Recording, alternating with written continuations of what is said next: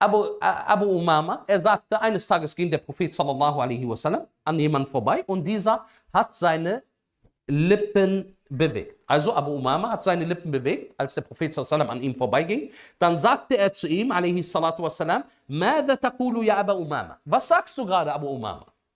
Ja, man kann Gutes sprechen, man kann Schlechtes sprechen, man kann Dinge sprechen, die jetzt nicht wichtig sind. Was sagst du, O Abu Umama? Qala azkuru Rabbi. Ich erwähne gerade meinen Herrn.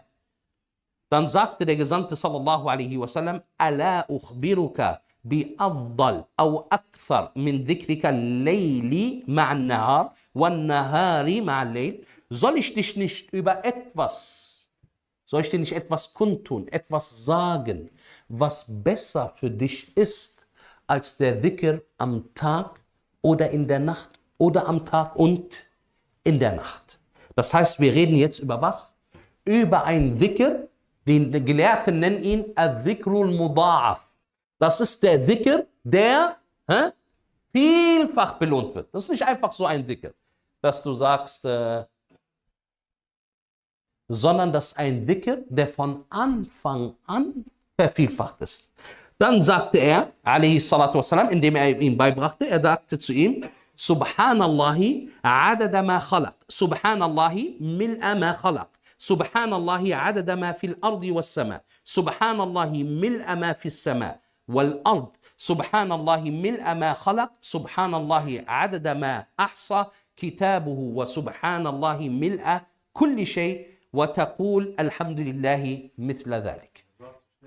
Ich weiß. Aber egal, wie langsam ich es gemacht hätte, deswegen Insha'Allah ta'ala, ich nenne euch die Quelle und dann könnt ihr diesen Hadith raussuchen. Hm. Bei Imam Ahmad, rahmatullah alayh, überliefert und auch in anderen Büchern. Und Sheikh al-Albani hat ihn in As-Silsila As-Sahiha mit der Nummer 2578 erfasst. Was heißt dieser Hadith? Er heißt, gepriesen seist du, ja Allah, entsprechend der Zahl deiner Geschöpfe. Allahu Akbar, wie viele Geschöpfe hat Allah Azzawajal. Und gepriesen seist du, ja Allah, entsprechend der Zahl zwischen Himmel und Erden, was du erschaffen hast. Und gepriesen seist du, ja Allah, was alles zwischen Himmel und Erde gefüllt wird. Und gepriesen seist du, ja Allah, mit dem, was in deinem Buch drin steht.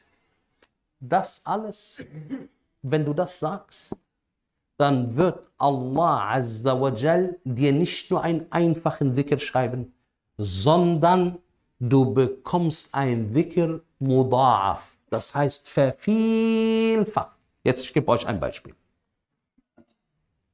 Ich hoffe, ihr gehört zu Ahlul Dhikr. Möge Allah uns unter ihnen machen. Was heißt Ahlul Dhikr? Dhikr ist besser in unserer Religion als Gold und Silber zu spenden. Dhikr, sagte der Prophet sallallahu alaihi wasallam, ist besser, als dass du in der Schlacht bist und du bekämpfst und wirst bekämpft. Mu'adh bin Jabal radiallahu an, als er diese Überlieferung überliefert hat, sagte er zum Schluss, Wallahi, ich kenne keine einzige Tat, die vor der Strafe des Höllenfeuers so klar und so deutlich schützt wie Dhikrullah. Deswegen, das sollte in unserem Leben vorhanden sein.